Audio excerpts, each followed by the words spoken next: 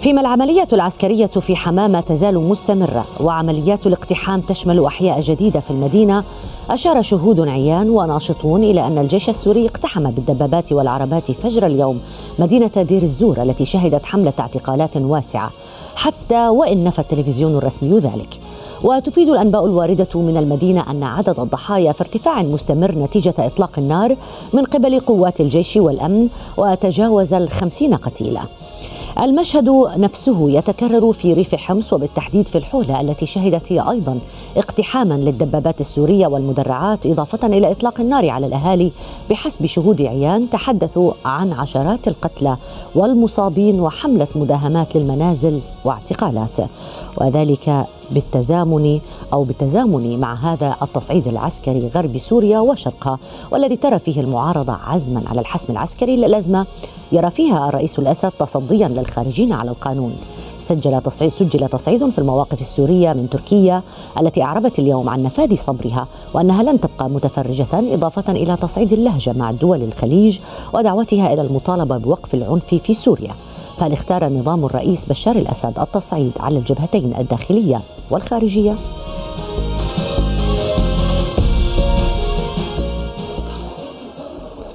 بعد يوم واحد على بيان مجلس التعاون الخليجي حول تطورات الوضع السوري الذي تحدث لأول مرة عن قلق الدول الأعضاء وأسفها لإراقة الدماء والاستخدام المفرط للقوة استعادت الحكومة التركية لهجتها السابقة التي غابت أو غيبت فيما يتعلق بالموقف من الأحداث السورية. القمع الدموي الذي قام به الجيش السوري لحركة الاحتجاج في مدينة حماة وانتقاله بالأسلوب نفسه إلى حمص ودير الزور دفع رئيس الحكومة التركية رجب طيب أردوغان للحديث عن نفاذ صبر أنقرة من استمرار النظام السوري في عمليات القمع الدموي للمحتجين وعن رسائل حازمة سيحملها وزير الخارجية أحمد داوود أوغلو إلى دمشق الثلاثاء.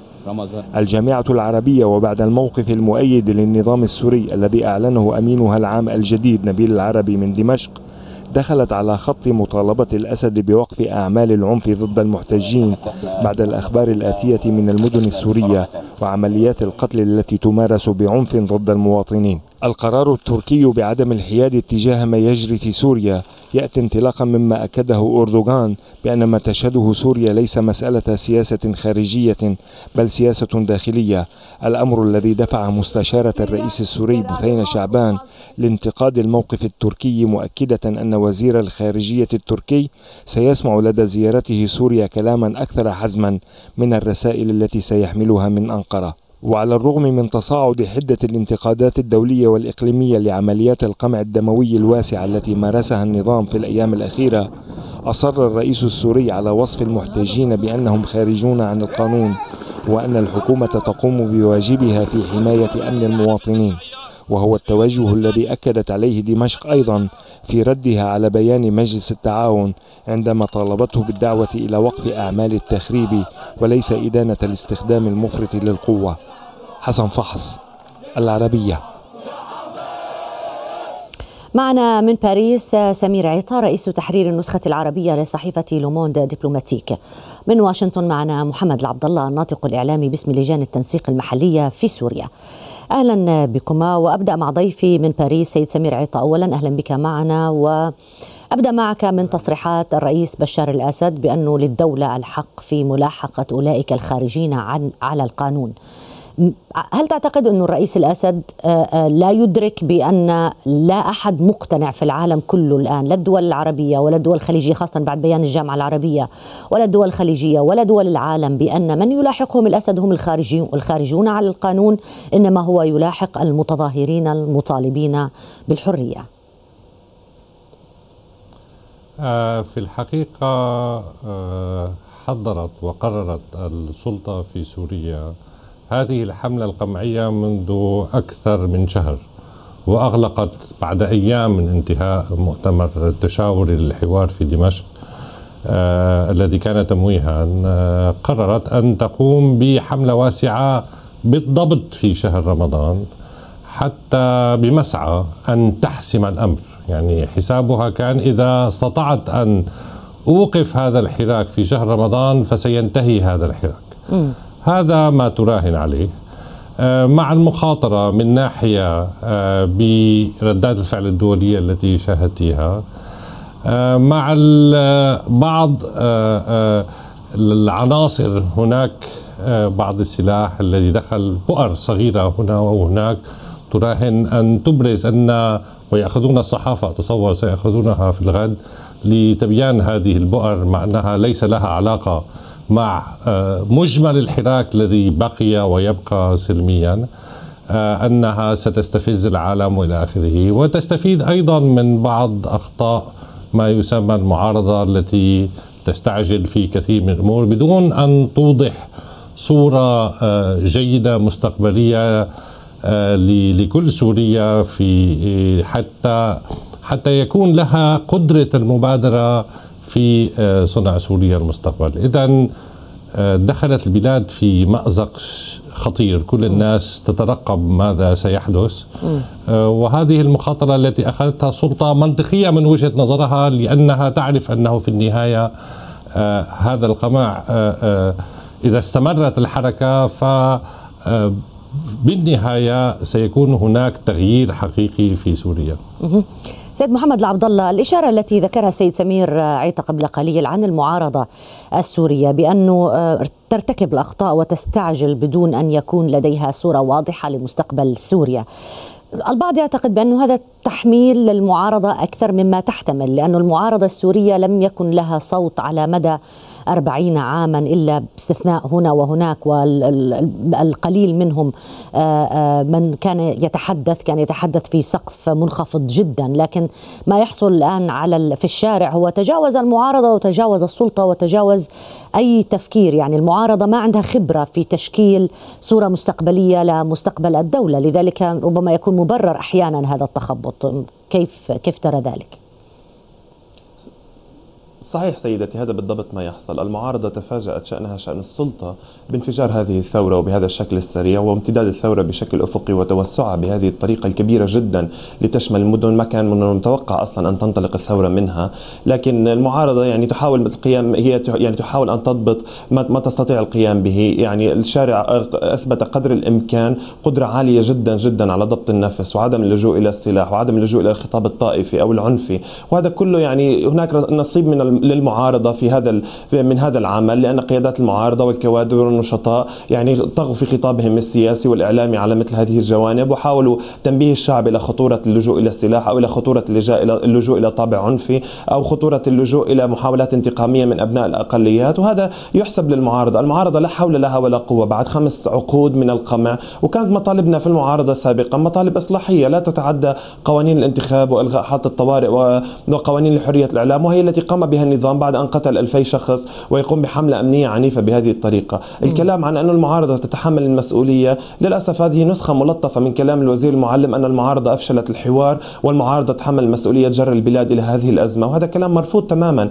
آه، يعني لو كانت النظام هناك نية يعني هي ليست تتحمل المسؤولية يعني نظام في العالم يقصف ربما بعض المحللين لا يرون أن المعارضة تتحمل نعم مسؤولية في, في أصل الموضوع أن السلطة تتحمل مسؤولية لملمة كل الأطراف ولكن المعارضة تتحمل جزء من هذه المسؤولية الآن لأنها حتى هذه اللحظة هي غير منظمة بالشكل المفروض تكون عليه المعارضة في سوريا. صحيح المعارضة غير منظمة وغير موحدة. هناك معارضات وهناك فئات سياسية كثيرة.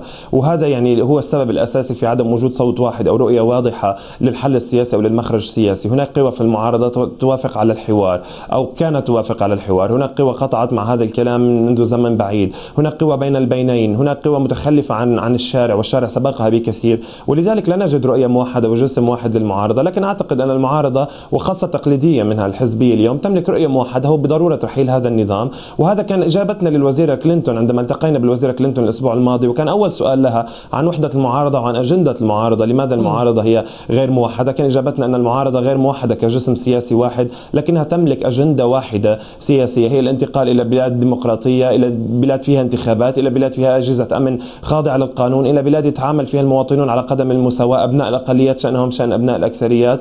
وكانت هذا هذا الطرح لقى استحسان في المجتمع الدولي حتى يعني حتى أبرز أطراف المعارضة التي كان يعتقد أنها لا تقبل بالديمقراطية وهم الطرف الإسلامي الإخوان المسلمين. كان طرحهم واضح في هذا السياق م. أنهم سيقبلون دولة مدنية تعددية ديمقراطية فيها انتخابات وأنهم يقبلون باللجوء إلى صندوق الاقتراع. م. لكن أن تستخدم المدفعية الثقيلة لدك المواطنين والمدن بهذه الطريقة يعني هذا أصلا لا يفتح المجال للمعارضة لتقول شيء. وبعدين لو أن المعارضة يعني النظام جاد في هذا الأمر بالأمس جرى اعتقال دكتور وليد البني ونجليه الاثنين من مكان كان متخفي فيه ثم اعتقال الأستاذ نعم أبنائه اثنين. وتم اعتقال الأستاذ محمد حاجي درويش من حلب اليوم لا يسمح للمعارضة بالحراك حتى اللحظة. وهذا كان إجابة على على كلام السفير روبرت فورد خلال لقائنا مع الوزيرة كلينتون الذي تساءل عن رفض المعارضة للحوار مع سمير ميز وأوضح لاحقا أن الولايات المتحدة غيرت نظرتها آه، عن النظام أنه إصلاحي أو أنه يحاول حقا أن يكسب المعارضة أو يتحاور معها. النظام يحاول كسب الوقت ويحاول إيقاف التظاهرات بأي وسيلة. أيوة. والشارع السوري مدرك أنه لو توقفت المظاهرات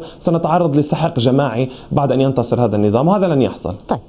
سيد سمير عيطة يعني دعنا ننظر للموضوع من من زاوية أخرى. الرواية الرسمية السورية منذ اليوم الأول يعني دعنا نقول منذ الأسبوع الثاني لأنه بالبداية كان تحدث عن جماعات سلفية وإمارة سلفية أو أصلا ما كان معترف أنه في شيء بالشارع السوري. ثم تطورت إلى إمارات سلفية ثم بدأ الحديث عن جماعات مسلحة منتشرة هنا وهناك في كل أصقاع سوريا. الآن الرئيس نفسه يتحدث عن آه، آه، مسؤولية الدولة أن أن تقاتل أولئك الذين يخرجون على القانون أو الخارجين على على القانون.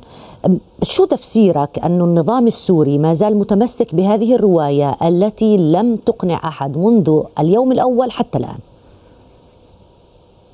آه صحيح. هلا إذا أخذ الواحد الإنسان مجرى الأحداث كيفما حدثت كانت الأحداث في منطقة معينة في حوران ودرعا من جراء تصرف آه، لا إنساني من قريب الرئيس آه، مع أطفال صغار. لو عاقب هذا الإنسان وقلتها مثل دومينيك روسكان مع كلبشات وأخذه لانتهت القصة منذ البداية. آه، بدل أن يفت أن تستخدم هذه الحادثة الشئينه للتغيير فعلا للمشي مع حركة الربيع العربي التي الذي له أسباب اجتماعية وثقافية وإلى آخره مختلفة. بدل أن آه، يأتي الرئيس ويركب هذه الموجة آه، مراكبا ماشيا مع شعبه اختار منذ البداية الحديث عن المؤامرة. وأصبح منذ ذلك اليوم هو المشكلة وليس جزءا من الحل وهذا مم. هذا شيء أساسي مم. اليوم نحن في الشهر الخامس ما لم يكن مؤامرة وقتها اليوم أصبح هناك آه، فوضى في كثير من المناطق أصبح هناك آه، من يتآمر على الوطن بشكل حقيقي هو أخذ الشعب السوري والجيش السوري كله رهينة إما أن تبقى سلميا وتستسلم وإما أن تدافع عن نفسك بالسلاح م. بالنسبة للعسكري أما أن تنفذ الأوامر أو تقتل. وتطلق الرصاص أو تقتل شعبك لكن ما ممكن نسجل يعني سيد سمير. وأصبح الوضع حتى, حتى هذه اللحظة منتهى الصعوبة. حتى هذه اللحظة لا يمكن أن نقول نعم. أنه المنتفضين السوريين تخلوا عن سلمية الثورة. إذا كان هناك آه، سلاح يدافع به الشخص عن نفسه فهي أسلحة فردية هنا وهناك. يعني ما صارت بمستوى التنظيمات المسلحة اللي اللي بتحدث عنها النظام اللي استطاعت أن أن يعني تهز آه، كيان سوريا كله. 99% من الحراك هو حراك سلمي وأنا أي. أفتخر بالشعب السوري أي. على مدى صبره قدام آه، أمام الإهانة قدام القهر قدام إطلاق النار لما عندما تري آه، أخا أو صديقا أو رفيقا يقتل كيف يضبط نفسه آه، كيف تتشابك الشبكات الاجتماعية حتى آه، تأتي وتناقش وتحاول أن أن آه، آه، تتناقش حتى مع الجيش حتى مع قوى الأمن أن اضبطوا الأمر نحن سنهدئ الأوضاع.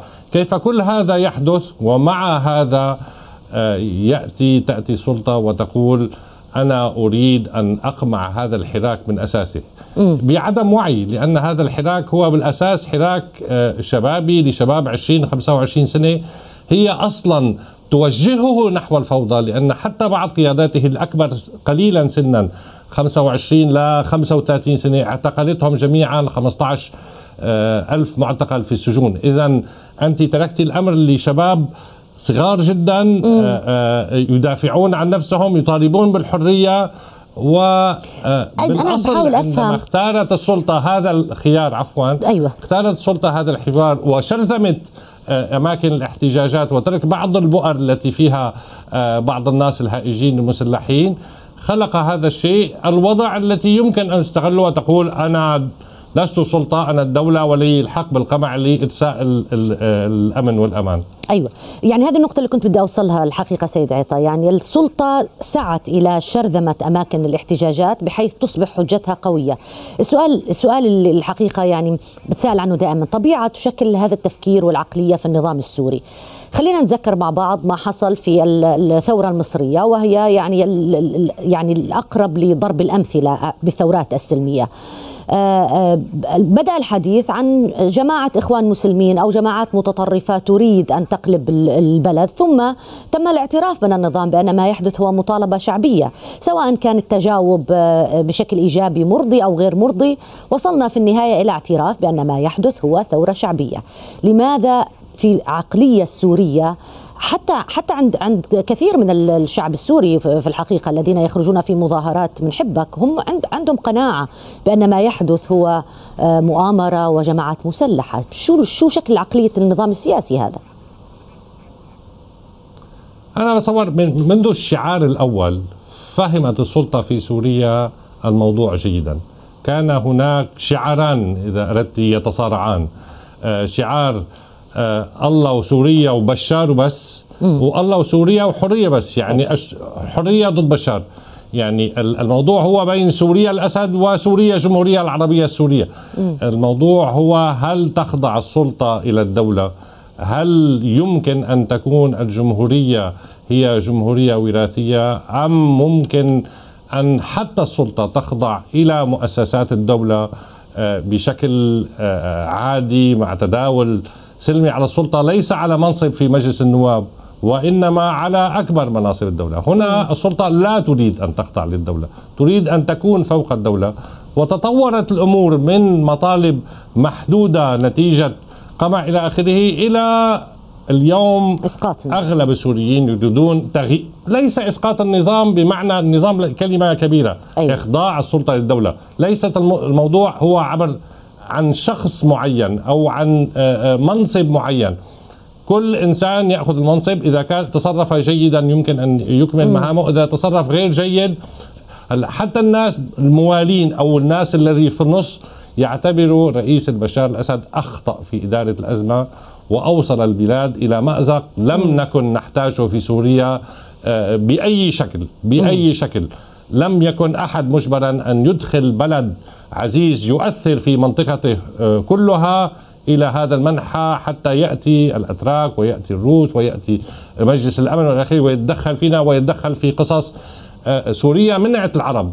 اليوم كل العرب ينتقدون سوريا وهذا شيء غير مقبول. يعني في فرق بين ينتقدون سوريا والنظام السوري تصرفات النظام ضد ضد شعبه. وهنا أعود لك سيد محمد العبد الله. دائما السؤال اللي كنا نطرحه منذ البداية على ماذا يراهن الرئيس بشار الأسد أو النظام الحالي في سوريا.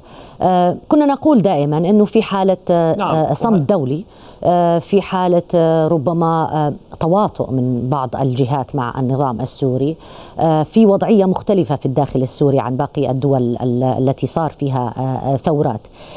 لكن في تحرك الآن حتى ولو كان خجل لكنه في تحرك وفي انتقادات بيان من المجلس الجامعة العربية بيان للمجلس التعاون الخليجي أوباما وساركوزي وألمانيا بتحدثوا عن إجراءات ربما أكثر حدة، تركيا تتحدث الآن عادت مرة أخرى للحديث عن ضرورة إيضاح الصورة أكثر أو يعني أيضا بلهجة أكثر حدية. هل سيشعر النظام بأنه أنه فقد ما كان يراهن عليه، أنه الكل سيبقى ساكت عليه حتى ينهي هذه التحركات داخل سوريا؟ تماما. النظام راهن على هذا الموضوع على الصمت الدولي والصمت العربي من جهة وعلى سحق على قدرته على سحق التظاهرات بالدبابات وبالمدفعية وبالاسلحه الثقيلة من جهة أخرى. وأن الناس سيملون ويتعبون ويذهبون إلى منازلهم وستنتصر المخابرات وأجهزة الأمن في هذه المعركة وبالتالي يسحق الشعب السوري وتكريس أربعة أو خمسة عقود أخرى من الخوف.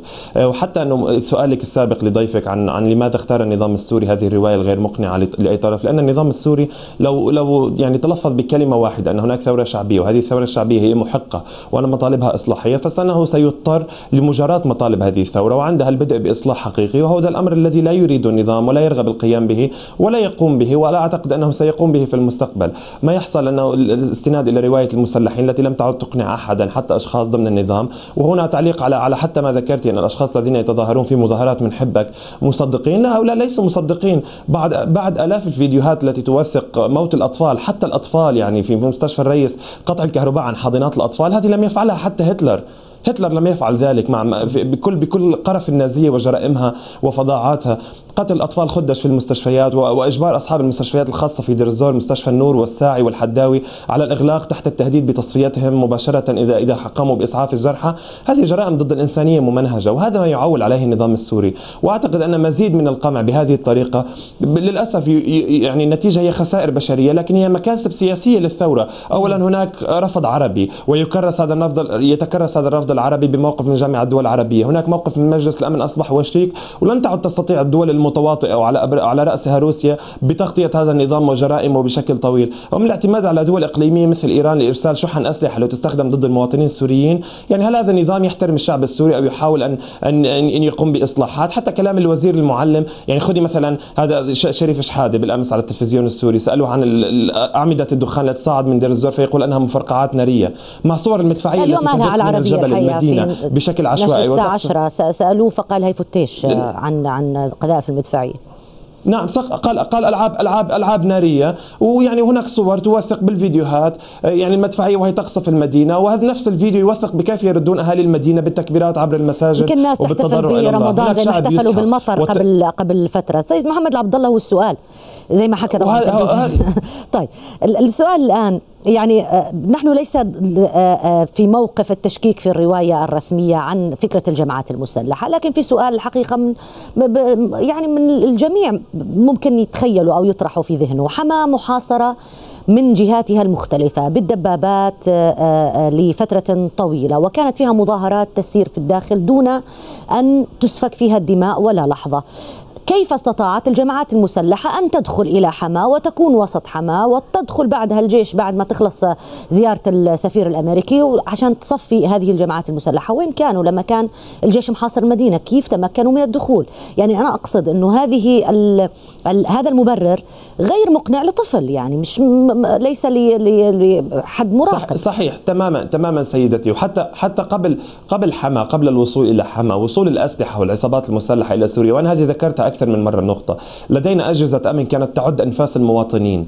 إذا كانت هذه الأجهزة الأمن غير قادرة على ضبط البلاد فلتستقيل وترحل وتغادر البلاد. أجهزة أمن تعد أنفاسنا. من أين أتت هذه العصابات المسلحة؟ وكيف أدخلت هذا أنا تحدثت عن حماة تحديدا سيد محمد لأنه آه لأنه يمكن تمام. أكبر مثل أنها محاطة بالدبابات من كل الجهات. نفس المثل قيل قيل في درعا. بالضبط.